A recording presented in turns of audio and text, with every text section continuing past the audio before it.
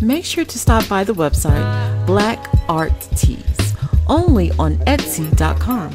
100% black and female owned, we proudly create uniquely beautiful natural hair art t shirts and African inspired products. We don't do cookie cutter. Want the same old, same old? We ain't the one. Want to stand up and stand out while doing it? Let Black Art Tees be your voice to tell the world that you are black and unapologetically. So be bold, be fierce, be you naturally. Be heard without saying a word. Make sure to stop by the website Black Art Tees, only on Etsy.com. Details in the description box. Check out the new novel from first time novelist Zori Maxwell called Highfliers, the Book of Trina, the first book in the Highfliers series. When fate brings together college kid Derek McNair and high school loner Trina Jackson, an unusual friendship and bond forms between them. As the two spend a year together, coping with the impending death of Trina's mother, will both realize there's more than meets the eye to one another than they first imagined. A coming of age tale of love, loss, friendship, and the black experience in America. Available for sale now on Amazon and Amazon Kindle. Make sure to check out the book Highfliers, The Book of Trina by author Zori Maxwell. Details in the description box.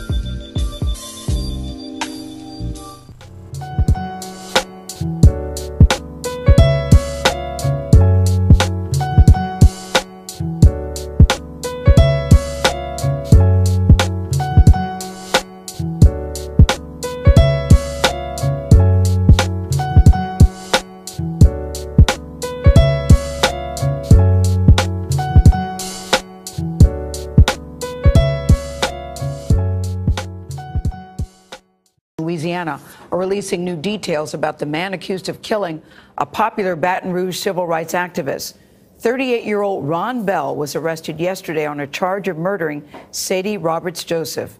Now, police say that Bell was her tenant. Her body was found in her car outside a vacant home last week. Errol Barnett is outside the museum that she founded in Baton Rouge. Errol, a lot of people are glad there's been an arrest in this case. What led police to, to Bell? Well, good morning. Gail, two things, both circumstantial and physical evidence. Police say that Bell owed uh, the woman known as Sadie rent money. The police report shows that he admitted to being in the area where her vehicle was found. But the real breakthrough here, the physical evidence, his DNA found on her body. Hundreds gathered in the Louisiana heat Tuesday at the African American History Museum Sadie Roberts Joseph founded nearly two decades ago. Folks coming together to celebrate her life and a breakthrough in the case. He's been identified.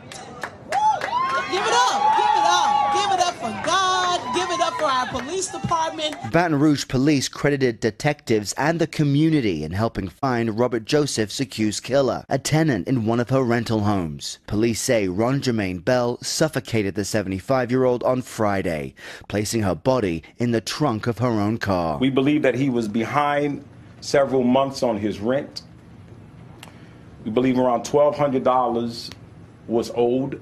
According to the East Baton Rouge District Attorney, Bell was previously arrested, accused of raping an eight year old girl in 2004. He pleaded guilty to sexual battery and served seven years in prison. He was not on probation or parole, but was under indefinite supervision as a sex offender. What happens next to this suspect? Well, we still have a lot of work to do. We're going to uh, uh, continue uh, following up on uh, more investigative leads, trying to put the pieces to the puzzle. Roberts Joseph's daughter is encouraging everyone to move past their outrage. What should people do with that anger and that frustration they're feeling right now? For those who were and are angry, live a better life. Give of yourself to your community to make the whole better. Hold it up. Friends and family say the woman known as Miss Sadie will live on through the many people she touched. The mayor said Miss Sadie is a matriarch of the city. She is, not was, she is, and always will be.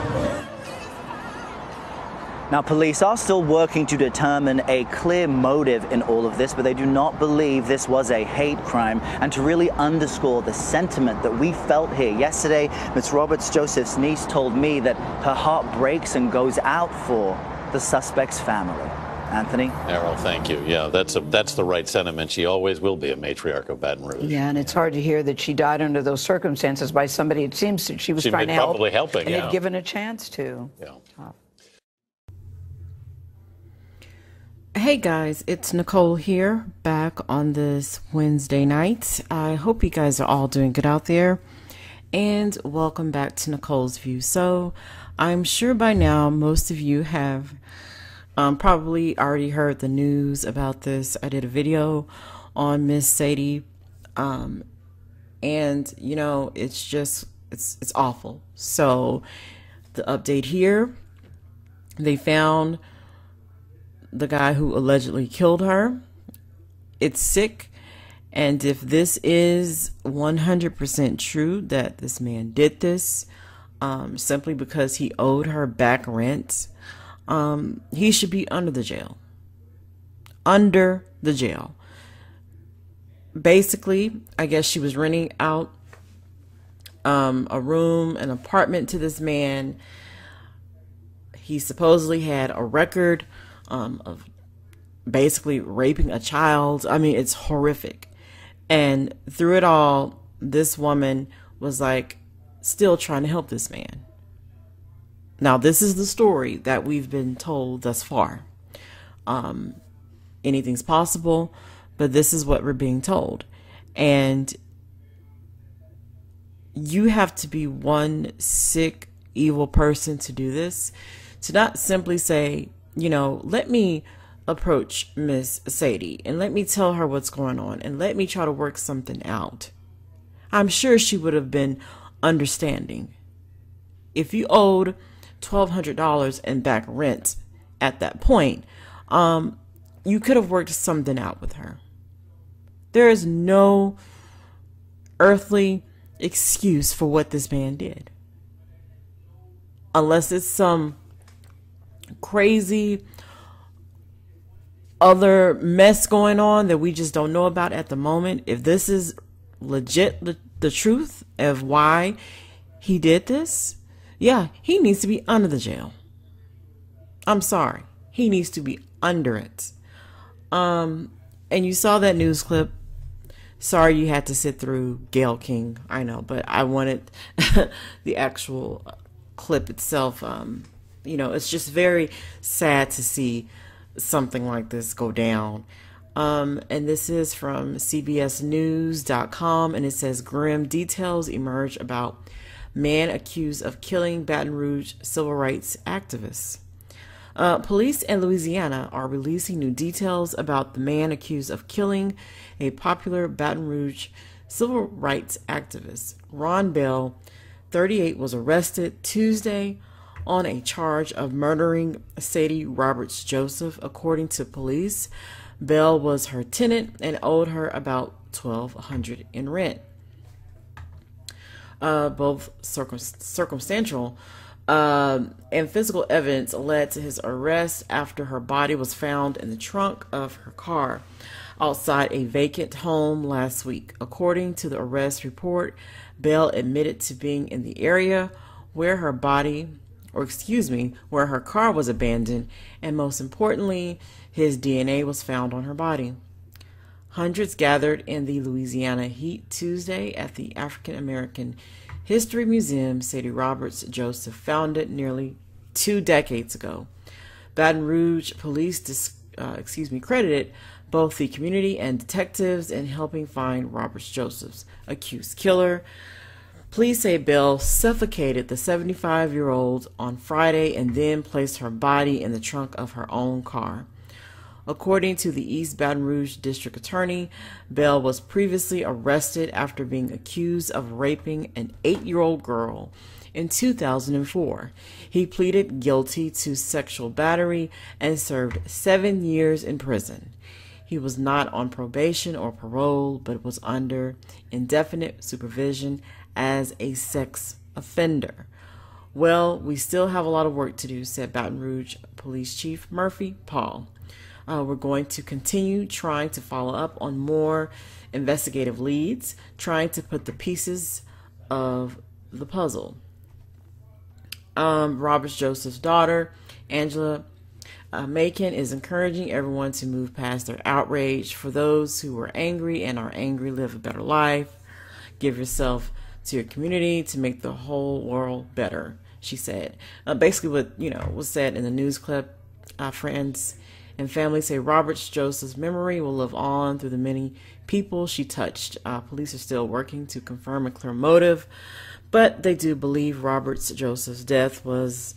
Um, they do not believe, excuse me, um, Robert Joseph's death was a hate crime. Okay, well, uh, yeah. So that is the end of that. Um, yeah. What what more can be said? It's just this is awful. And I was hoping, I was hoping, I was hoping. I was like, man, I hope this is not one of our quote unquote folks that did this. I, I had a sick feeling that this was the possibility, um, but you just never know. Anything's possible. So, um, you know, thus far, this is what they're telling us. They're telling us that this man did this. Absolutely diabolical, evil evil of all the things you could have done, all the many options you had, and you thought, let me just go ahead and kill this woman. Like, how do you go from, oh my God, I'm behind on my rent, what am I going to do, to killing the owner? Okay, I I don't understand that. And I've heard stories like this before. And you're just like, really? All this help out here, all this, you know, yes, I know it's probably a little bit more difficult with him being a sex offender, but still and yet, you know, he was released from prison. I'm sure he could have gotten some type of something. You know, it, it it's just, it's just beyond words. evil. I don't know. Um, once they investigate this and see where it goes, I don't know the laws in Louisiana, but I know here in Texas they do have the death penalty. Um, I bet if this happened here, oh, that that would have been capital murder. You know, I, I don't know. Uh, I'll have to keep you know on top of the story to see what they end up charging him with. Um, but you know, um okay so i mean they charged him with murder but you know if that was here i think it would have been capital murder simply because of you know it was premeditated and the you know the weight she carried in that community. So vital so important so you know um you know just just beautiful and to see someone like that just taking out over $1,200 in back rent, if this is the story they're telling us, it's evil. It's absolutely evil. And he has to uh, pay the price for it. When we have folks like that within our own community doing this crap, oh, yes, you need to be dealt with. You need to be dealt with. Now, like I said, um, they're still going to continue to investigate to see if there's anything else. This is what they're telling us. Um, but, you know, regardless of what the outcome may be in how they charge him, how the story um, just develops over time, he decided to participate in taking down an elder in a vicious, evil inhumane way. So, you know, he's still uh, just below, just below, um, below the dirt to me. I mean, absolutely evil. Hurting kids and hurting elderly people. Two groups of people that it, it, it makes me angry. It makes me absolutely angry. Because those two groups are the most, um, you know, easily to be hurt, vulnerable, you know, people we have. And for folks to do this, to hurt them and harm them and not think twice about it, you know, yeah, you deserve the worst of the worst. Absolutely. 100%. So, guys, please let me know what you think about this. And it's something I will definitely keep an eye on over time to see how this uh, transpires. Anyway, guys, please let me know what you think. Rest in peace to Miss Sadie uh, Roberts Joseph. Uh, guys, let me know what you think. Like, comment, share, and subscribe. And I will see you all in the next video. Nicole's View is sponsored by. Make sure to check out Brother Hank's three YouTube channels. The first, IBM OR One Man Army Against Racism, channel for Intel Ones. Intel from Black or New Copper Race Forums, and Black or Brights, and Latino, and all positive people's safety zone. Now, Brother Hank is bringing you the latest news, reviews, commentaries, and so much more on all three of his YouTube channels. So make sure to stop by, show your support, like, comment, and subscribe. Details to his three channels will be in the description box. Check out the book Granddaddy by author Cavis Adams.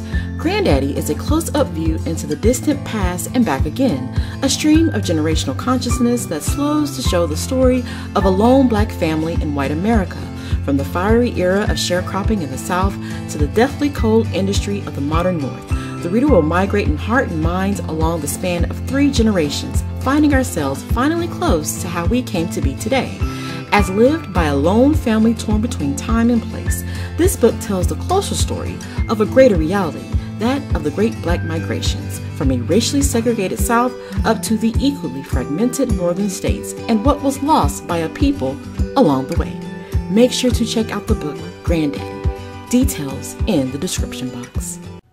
Hey guys, it's Nicole here, and I thank you for your viewership. Now, do you have a business of some sort? Do you have a clothing line, a shoe line, hair line, books, music, movies, heck, your own YouTube channel you want to promote? Well, let me know. Email me at NicoleLewisForChange at gmail.com, where I offer a low monthly fee for you to run your ad on my pre recorded videos. Also, do you just love what I do and want to show your support? Well, support me on Patreon, PayPal, Venmo, Google Pay, Cash App, basically any and everywhere. So show your support for the new black media and all of our endeavors. Thank you so much. I'll see you all in the next video.